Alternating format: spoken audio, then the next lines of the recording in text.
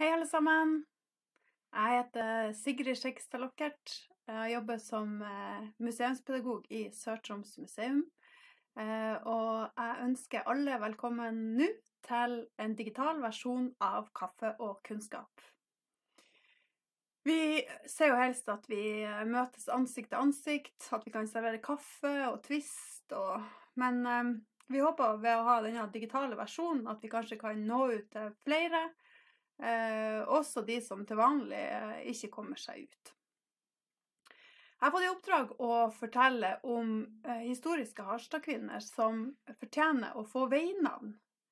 Men skal vi gjøre det nå, så foreslår jeg et femdagers seminar, for så mange flotte, fine Harstad-damer har det faktisk vært.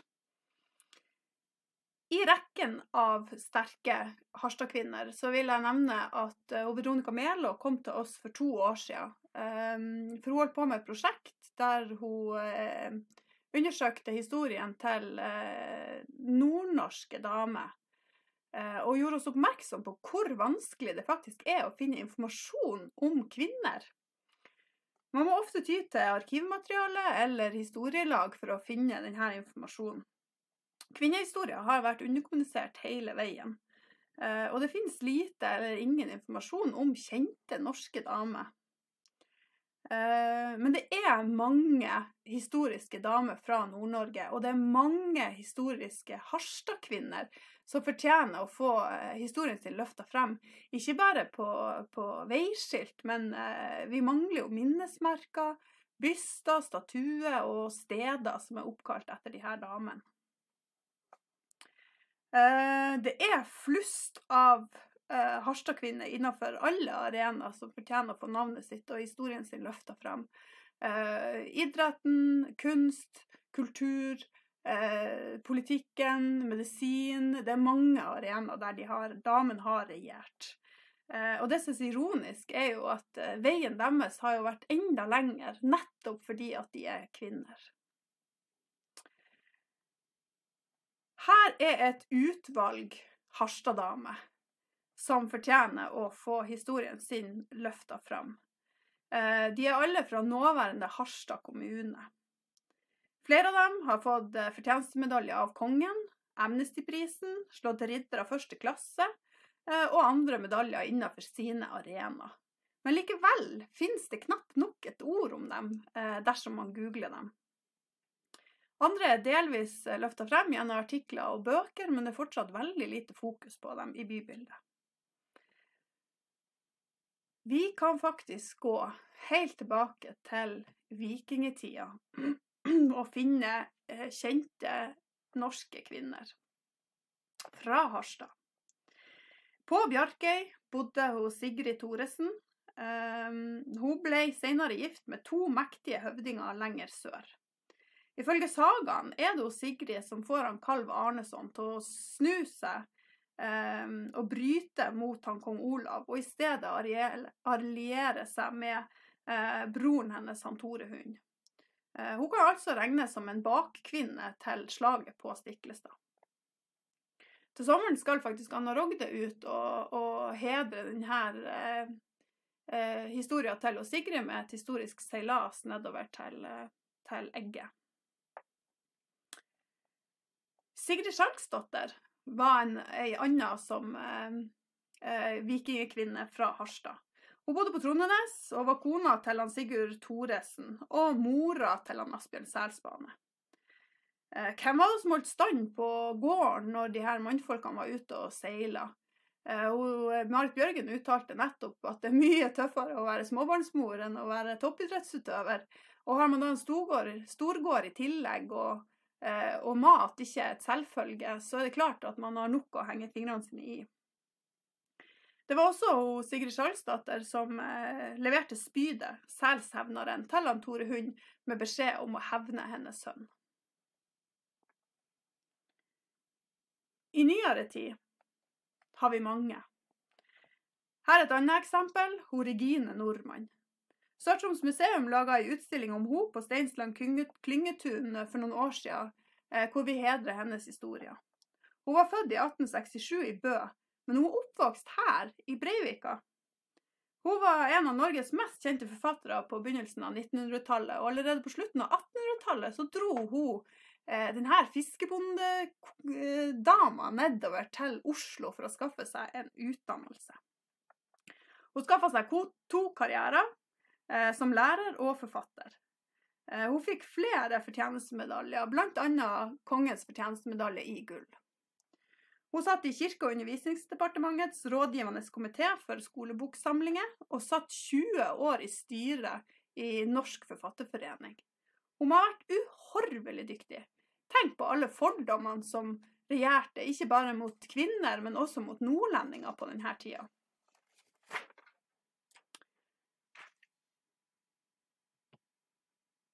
Denne dama heter Anna Bertheussen hun var forretningskvinne og født i 1861 på Ibestad. Hun tok seg også en utdannelse, og ble både meieribestyrer og kasserer i Harstad Sparebank. Det var heller uvanlig at damer fikk ledende stilling i næringslivet. Hun var et av unntakene, og var i all sin tid en kjent og akta person. Eh, med både lang utdanning og, og arbeidserfaring ble hun den første forretningslederen av Harstad Meieri. Og det er ingen tvil om at hun la ned mye arbeid eh, i, i, oppstarten, som var ei vanskelig tid.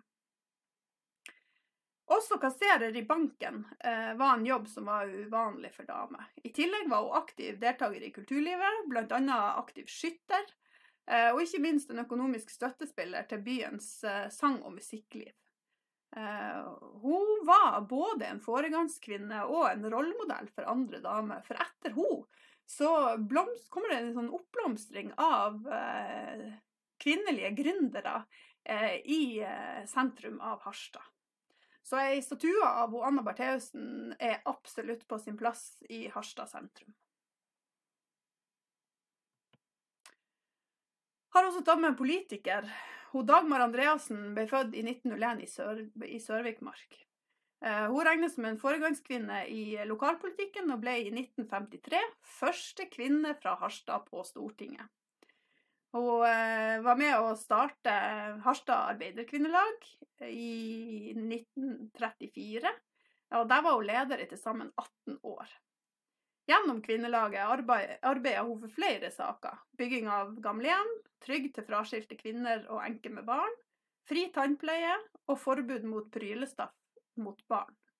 Hun var også aktiv i Norsk Folkehjelp i Harstad, og arbeidet for etablering av en bedriftshelsetjeneste. I 1982 ble hun tildelt Harstad bys fortjenestemedalje. Innenfor medisin og humanitært arbeid har Harstad fostra eh, mange eh, foregangskvinner. godt. Nordmann ble født på Skjærstad i 1892 hun regnes som en pioner innen mensendikgymnastikken i Norge, og grunnlegger av en fast norsk mensendikutdannelse. I 1955 ble hun utnevnt til ridder av første klasse av St. Olavs orden for hennes innsats for helsearbeid i Norge. Og i forrige uke kom gladmeldinga at Norges første kvinnelige veterinær, hun Louise Iversen, fikk sin egen park i Oslo.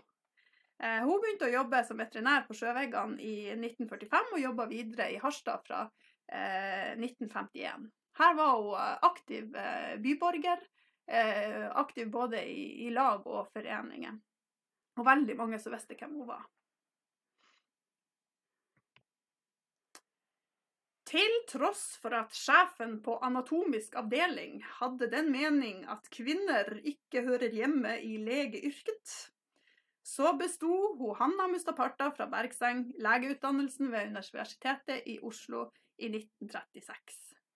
Hun ble en svært populær lege, og det kom folk fra Vesterålen og Lofoten for å komme til henne. En, en, liten artighet er jo at hun, eh, hun, var en av eh, få som hadde egen bil i Harstad før krigen. Eh, og mannfolkene var jo helt forfær og lurte på hvordan et kvinnemenneske kunne håndtere et slikt maskineri. Det var jo meget spesielt. Men eh, Mr. Bartha hadde mange baller i lufta og satt i kommunestyret. og og hun var også med i mange lag og foreninger og aktiv i Norsk Folkehjelp. Tok initiativet til stiftelsen av mange, mange foreninger. Hun gjorde mye for byen.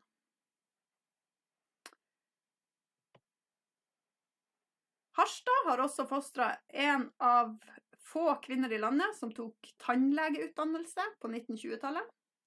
Maren Kulseng Hansen var født på Sama i 1880 og praktiserte som tannlege i Harstad.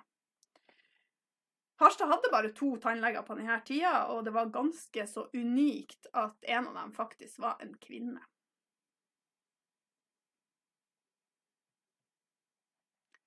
I midten her ser dere hun Asora Grytne. Hun er det få som har hørt om. På Gryte bygdetun henger hennes krigstjenestemedalje fra kong Olav sammen med en diplom.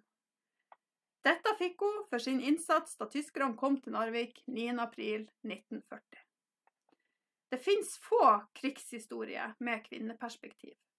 Sjøl snakka hun veldig lite om dette, og historien hennes ble aldri skrevet ned eh, og lite fortalt. Det hadde absolutt vært på sin plass med et, et, veinavn eh, oppkalt etter henne, enten på Grøtavær, der hun kom ifra, eller på, på Gangsås, eh, hvor hun bosatte seg.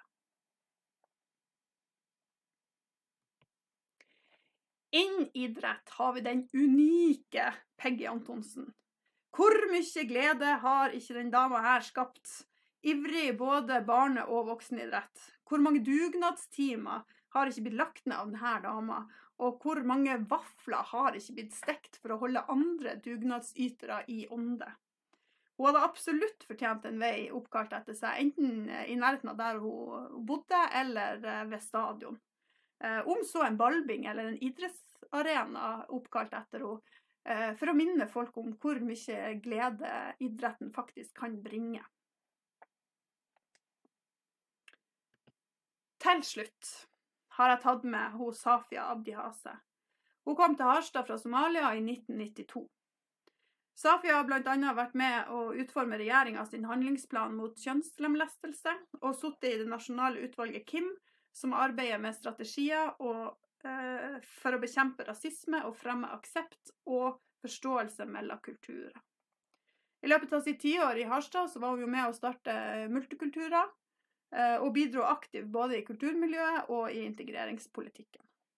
Kongen utnevnte i 2014 hos Safia til ridder av første klasse av St. Olavs orden, og Eh, I 2016 så mottok hun faktisk Amnesty-prisen.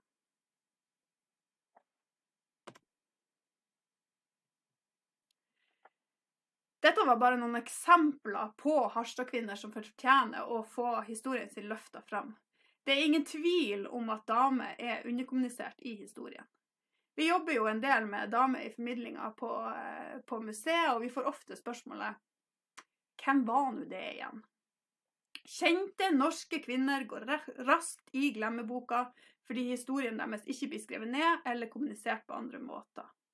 De fleste av disse damene eh, tok jo ikke valgene sine på trass, men gjorde noe de levde og ånda for.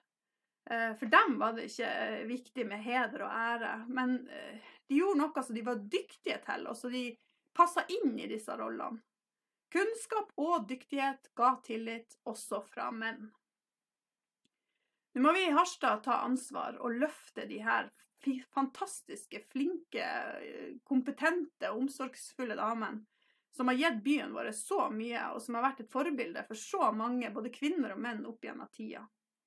Det sies at hvite middelaldrende menn har skrevet historier, men i Harstad så er vi faktisk så heldige at de hvite middelaldrende mennene gjerne vil ha damer med på laget. Både unge og gamle, og gjerne fra flere kulturer, sånn at uh, Harstad-historien blir så komplett som mulig. Uh, å rangere de her damene er jo en umulig oppgave. De har betydd så mye for så mange. Uh, de gikk foran og viste vei. Og alle disse fortjener å få historien sin løfta fram på så mange områder som mulig. Det er på høy tid at noen av disse navnene kommer bl.a. på veiskilt, men også på sokkel. tusen takk for at dere var med oss i dag. Eh, håper dette lille foredraget har engasjert dere til å ta fram penn og papir og hjelpe oss å samle inn Harstad-historien. Eh, vi håper å kunne møte dere ansikt til ansikt neste gang, helst over en kaffekopp. Men eh, for nå så ønsker Sør-Troms museum eh, alle våre museumsvenner en fortreffelig påske. Tusen takk for meg.